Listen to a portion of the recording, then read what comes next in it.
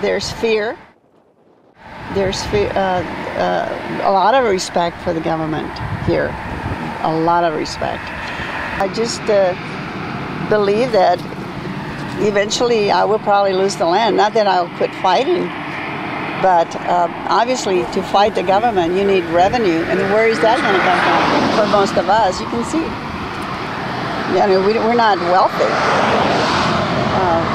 Have is land. It's val- that's what's valuable for us. You can fight all you want to in court. Uh, you can continue to fight them, but they'll they'll do the construction. So, how does that make me feel?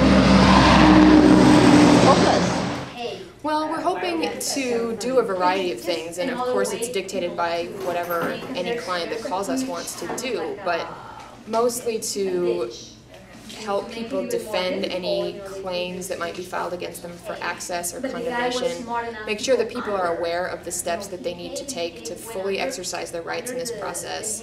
Um, and something that's really important, I think, is just to alleviate people's fears that the fact that you get served with a lawsuit by the U.S. government doesn't mean you've done anything wrong. You're not obligated to sign a waiver to avoid that process. In fact, it's your constitutional right to go through that process, and you shouldn't be afraid of that. And so we really want people to know that and to have the assistance that they need to feel comfortable with that process and not be intimidated by it in any way.